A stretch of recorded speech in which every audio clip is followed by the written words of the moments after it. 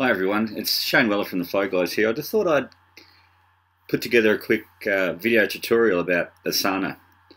Asana is a project management system that has had a recent um, user interface upgrade and it's an exceptional application to base your whole business on for your task management and project management needs. It's great for solopreneurs and small teams of businesses that work together in a collaborative fashion, have clients that need to have tasks allocated or approvals given, um, need to have an understanding of when tasks are going to happen in a timeline, and um, indeed the costs and uh, time required to deliver projects. It's a collaborative tool that removes a requirement to uh, use email and uh, it just works. It's one of the best applications for this type of work that I've found. Now, what you'll see in the screen when you first log in, how do you actually get into it? Well, generally, if you're not the person who starts the account, um, you will be invited into Asana uh, via email, and you simply click on the email and create an account and log in. And the person that sent you the email should have invited you to the right workspace. And so just a bit on workspaces. The app itself allows multiple workspaces uh, and that um, generally I use a workspace for a, uh, a client and um, invite the uh, stakeholders into that demo, into that workspace um, per per project per uh, client if you like. Each client allows to have multiple multiple each workspace allows multiple projects to be um, delivered and for privacy of particular uh, projects or open to everyone to see. Just a note on privacy uh, collaboration and privacy often don't go together in terms of the whole idea of open collaboration is not to have privacy. But indeed, I understand that some projects have got um, sensitivities that you don't wish to have open to other people uh, in the team and you can do that easily with with uh, Asana by either creating a private project or creating a, uh, uh, a workspace specifically for the team that has to work on that project. Now, over on the left hand side here, you'll see that uh, we have a number of uh, menu options, and up the top we have um, three menu items up here. Basically, when you work in Asana on a day to day basis, you'll find that um, there's a small notification that comes up along my inbox which shows you all the activities that's occurred since your uh, last login to Asana. And click on uh, that menu item, and in this stream, I'll show you later, uh, all the tasks that have had some updates, which you can either then archive or action. Uh, this list over here, my tasks, will show all the tasks that are allocated to you in any order that you like. So you can place them in uh, an order that is relevant to you, or you can use the uh, default view that comes up. You'll notice that there's a calendar uh, both over here and uh, both in the My Task view. That calendar shows all the tasks that are relevant uh, by date. So if you've got tasks that need to be done by Friday, all the end dates will show up, all the tasks will show up on the Friday.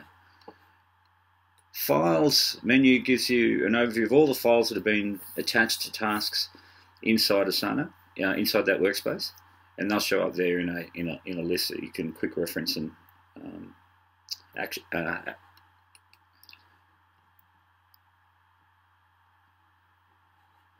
files.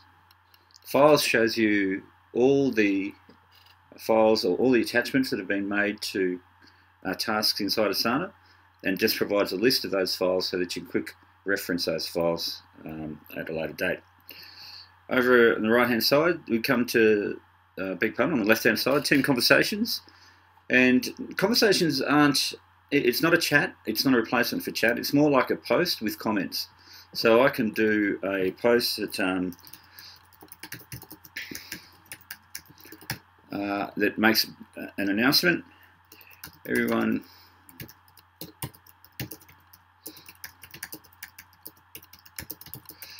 and uh, uh, whoever is in that workspace will see this uh, post and they'll be able to comment on that post as well.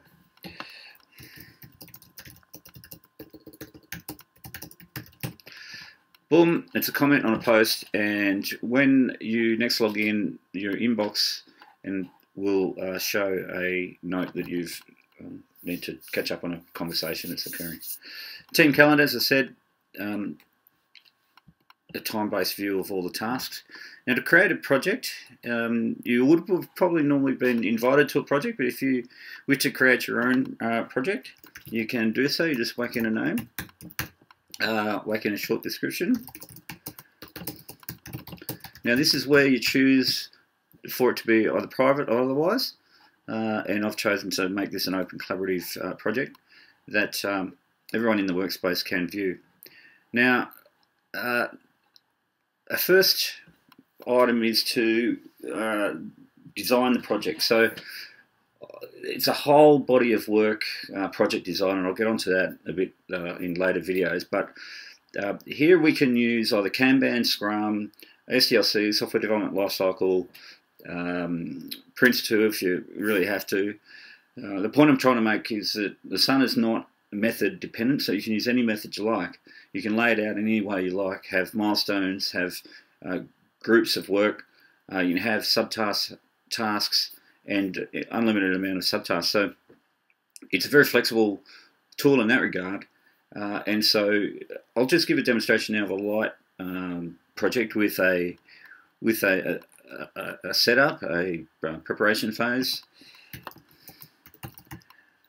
uh, a um, doing phase, and a um, closing phase.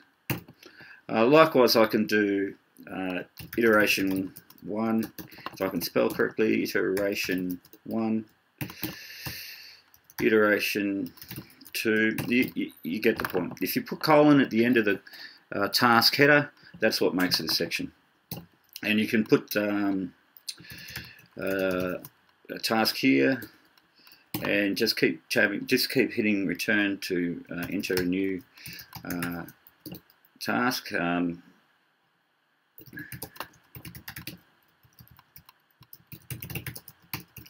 you, you, get the idea. And to move the tasks into different sections, it's just drag and drop. So you know in Kanban and, and Scrum we often look at the value chain as being from left to right. In uh, Asana all it is, is is vertical instead of horizontal. So when you think about Kanban, you've got the to do, doing, done. You can do exactly the same thing um, here as well. So I can change that my uh, section to say to do, doing, done, and, uh, and, and putting my tasks here. And then once I've done the task, uh, or I'm doing the task, I can move it into doing. Uh, but when I'm done, you can uh, click on complete over on the right hand side or you can click, up, click complete here. I've made my coffee, uh, so that's now gone. But if I want to view completed tasks as well, I can uh, continue. I can allow the view to have a completed task in it.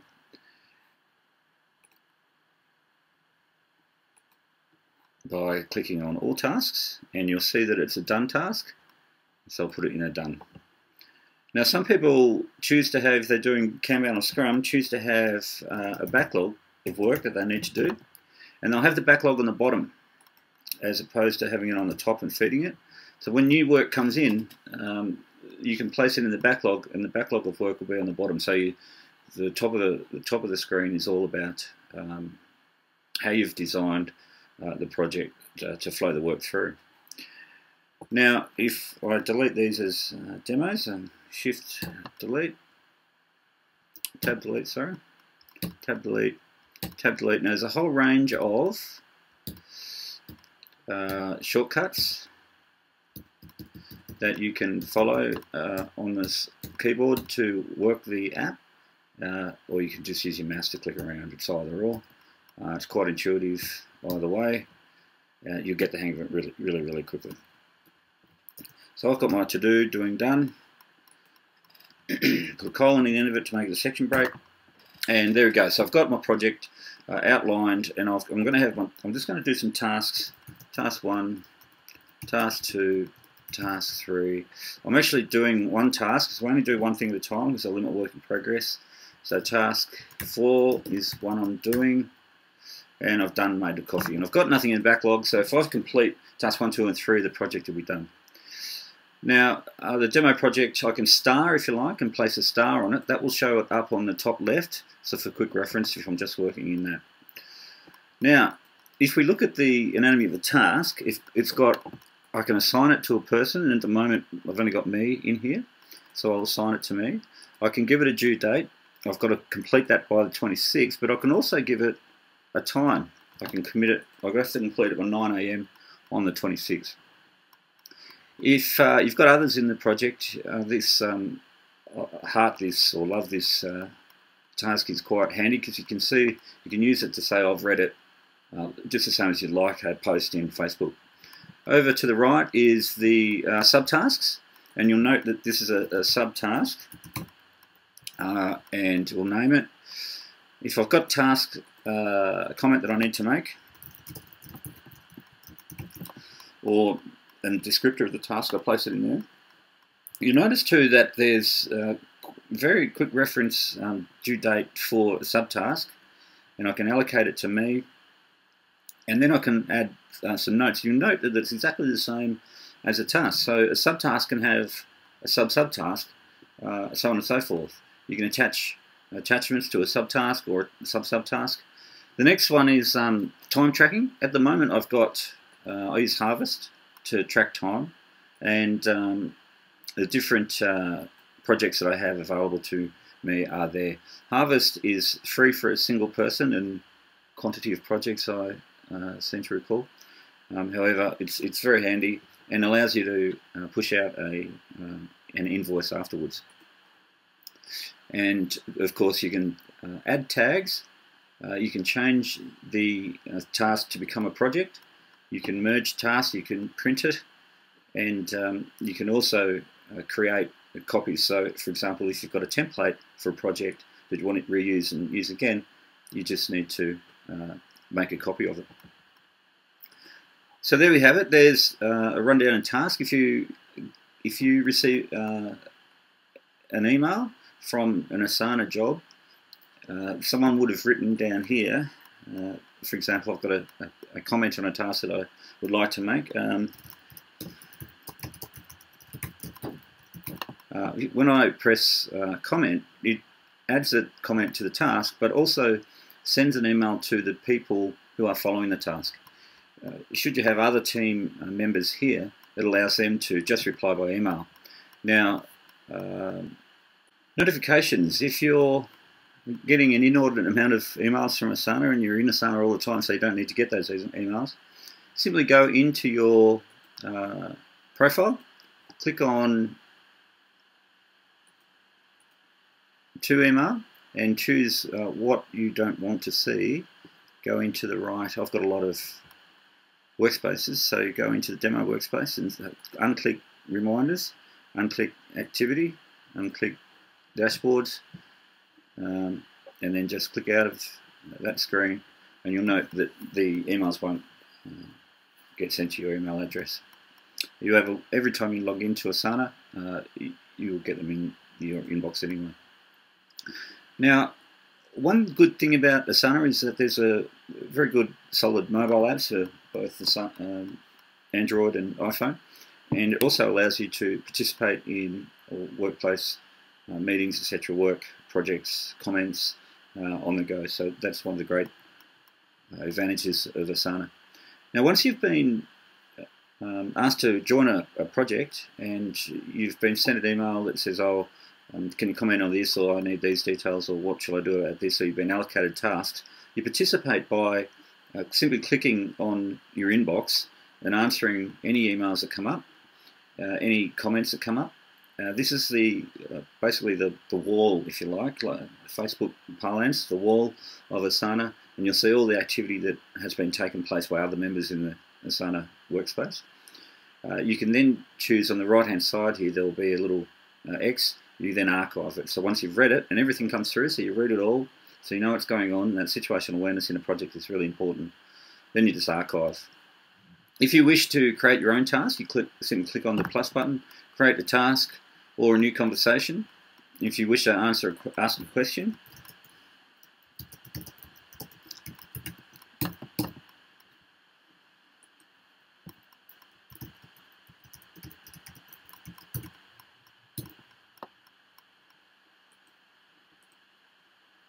No idea why that's not working. I must have dropped.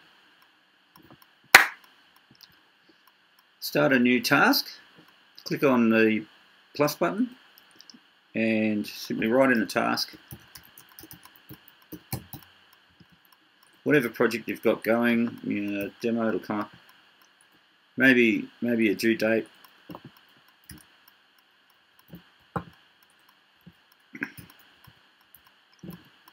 and uh, create that task. And that'll show up in the project and it'll, it'll ask you down here bottom left uh, if you want to see that task. There's my new task there. Uh, and all my tasks will be in the My Task view so I can work from there as well. And if we have added a date, we should see the task come up in the calendar. So there we go, there's a task there. Um, and, and you can also push this calendar out to your uh, Google Calendar or out to your mobile device as well. Anyway, uh, there we have Asana. Uh, I'll do a quick video on how to push it out to Instagantt so that you can get a Gantt view of the project as well. Uh, that'll be next.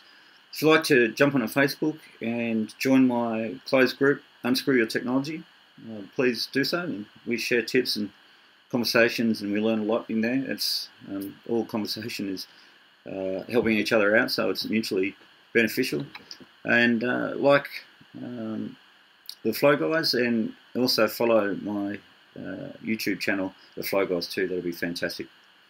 Any comments you like, just comment below. Um, next time, next uh, video will be how to use Instagantt. Thanks very much. See ya. Bye.